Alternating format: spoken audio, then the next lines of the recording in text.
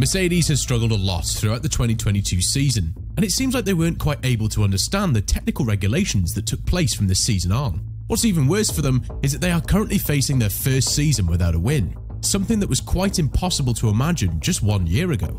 Even worse, Hamilton is heading towards his first season without a race win in his F1 career.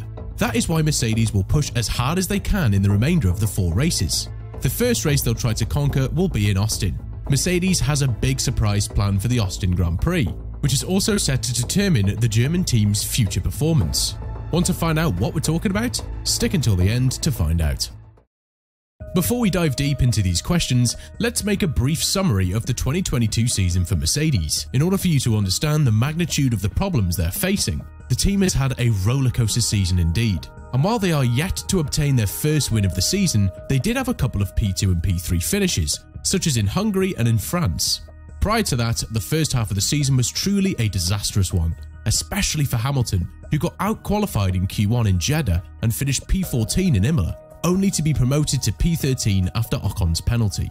As for Russell, he was the driver that kept Mercedes alive in the championship battle with Ferrari, but the last two races in Singapore and Japan were ones to be quickly forgotten for the young Briton. However, he is looking forward to Austin, a track that he believes Mercedes will have a legitimate chance of winning, especially after they finally seem to understand the porpoising issue. Mercedes experienced terrible vertical oscillation issues up until July. The Brackley-based team finally solved this problem at the Silverstone Grand Prix, a track where Mercedes was very competitive and had a legitimate shot at winning with Hamilton. The next track Mercedes had a big chance of winning was in Zandvoort, where Russell finished P2 as Hamilton struggled with the tactics of his team and finished P4. Although the results of the last couple races were disappointing, the Brackley-based team is looking forward to the next Grand Prix and are still hopeful to secure second place in the Constructors' Championship. This is why they are planning to introduce their final aerodynamic upgrade package in Austin, a track that is expected to suit their car characteristics. Andrew Shovlin, the director of trackside engineering at Mercedes, spoke about the upgrade package, adding, It's our final step of aero development, and that will hopefully give us a bit more performance. But importantly, with every step we are learning more and more, and that learning we can carry into next year. Also, we have taken some weight out of the components that will hopefully get the car closer to the weight limit. However, although the team is positive to see how the new aerodynamic package will influence the W13 on the bumpy surface of Austin, Shovlin remained realistic and said that performance-wise they are still not close to the top two teams, and it's going to be difficult to judge where the car will finish. It's a tricky circuit, and it was a tricky circuit for us last year. It was very bumpy. There was a lot of overheating as well from the tyres, and we weren't performing as well as Red Bull were on the softer tyres. They have done some resurfacing, so hopefully those issues with the bumps are a little bit less. But what's very hard this year is to really know where you're going to be on the circuit before you've gone there. It's very difficult for us to predict where we're going to be. In Singapore, Lewis was awfully close to pole position, yet in Suzuka, both cars had a big gap to the front, now our race pace has been reasonably strong. If we can make a step, hopefully we can get into the fight with the Ferraris and the Red Bulls. But qualifying for us is the really difficult one to predict at the moment. But as I said, a lot of it is about learning and we are certainly going to give it our best shot in the final four races, said Shovlin. There is one narrative that, if it comes true, will help Mercedes in their pursuit of their first win of the season. According to certain reports, now that the championship is over, Ferrari and Red Bull want to finish strong in the final four races with fresh engines. Mercedes already installed new engines in both Russell and Hamilton's cars in Singapore and Monza. However, the only driver from the top two teams who probably won't take a new engine is Sainz, which complicates things for Mercedes. Nevertheless, the aerodynamic package is also something that is going to help Mercedes in the future. You may ask yourself, why? Well, the answer is simple and that is that the W13 has served as a learning tool when it comes to the development of the 2023 version of the car, which is the W14. Mercedes is probably the first team out of the top dogs that switched its focus to the 2023 season, right when it became evident that they do not have a championship winning car this year.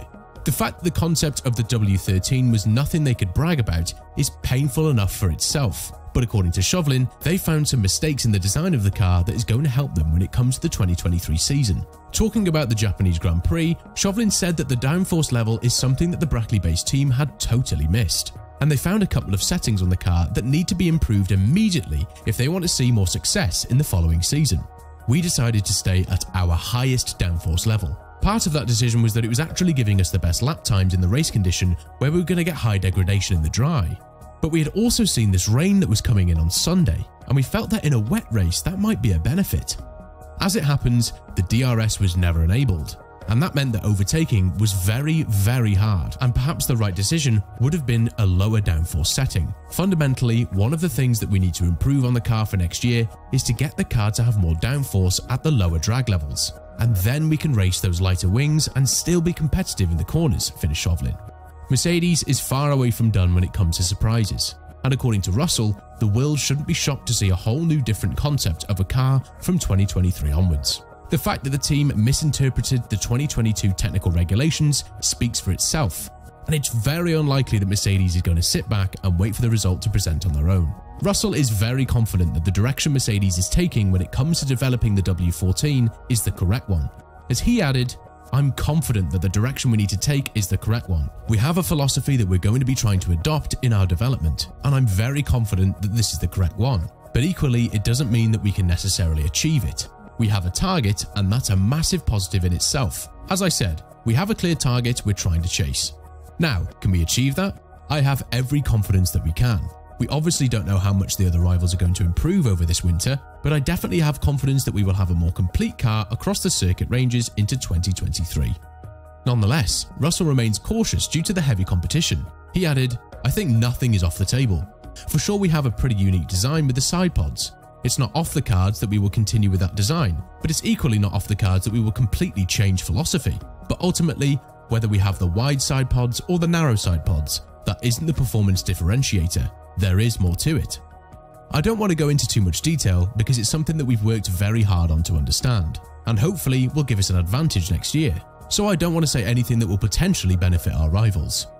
However, the shift from being the third best to the best team on the grid isn't going to be a smooth one and that is something that Wolff acknowledged himself. When asked about the transition that Mercedes needs to make in order to get back at the top, he said, To turn the ship in this industry is a little bit like an oil tanker. First, you have to understand what the root cause is for your non-performance, and then you have to peel the various skins off. What is the first layer? What is the second layer? Are we really on top of all the questions? And the answer is no, we're not. But I think a big chunk of the performance that we are missing we have discovered. It's not something that we can change this year, but it's decisions that we've made for next year. But I'm not 100% confident to say that next year we will be fighting for the World Championship. The aim is, and the expectation is, but there's still work to do, said Wolff. With that being said, what do you expect from the new upgrades Mercedes is bringing to Austin? And do you think that the 2023 season is going to be a much better one for them? Let us know in the comments below.